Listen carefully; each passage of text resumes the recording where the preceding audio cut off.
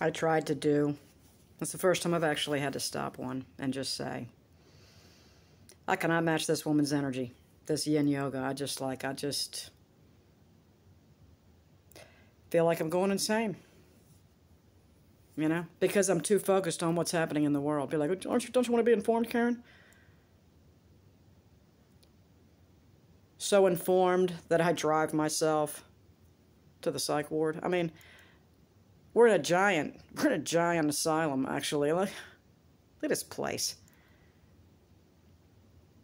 All the denial of all the criminal acts going on against us, like right in front, like what? We're just participating. I mean, raising our hand before we speak, getting in line, using a piece of plastic to pay for something. Are you can't give our neighbor fresh milk from our cow? That's a fucking crime.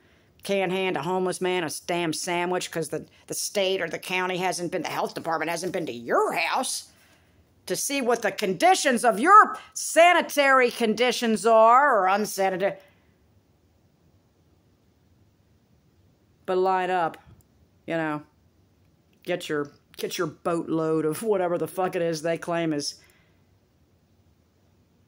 saving grandma. Just save your grandma if you take this into your body with this pointy instrument.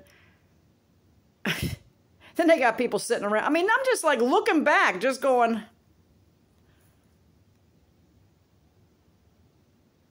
And then I'm looking around today going here.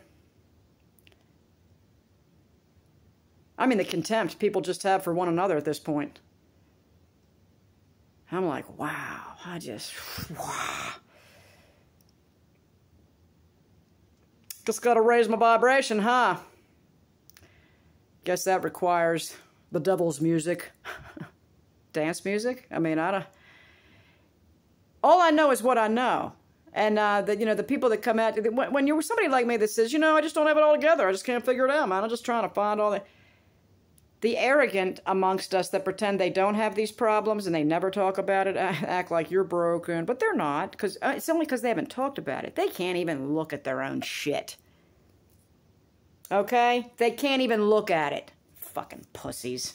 Oh no i'm so holy. I'm saddled by the blood and maybe you are. Or maybe you're one of those people that are in the end going to say lord lord and he's going to say yeah i never knew you did you ever think of that? Yeah, they tell me that all the time. So, I mean, just... Can we just love each other, please, and accept each other where we're at?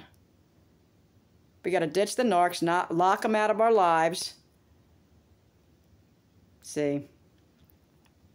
That's something that can't be done across the board because the twisted ways that they twist their disgusting, venomous lines into family bloodlines and all. It's just, oh, it's the curse of this world, is what it looks like to me.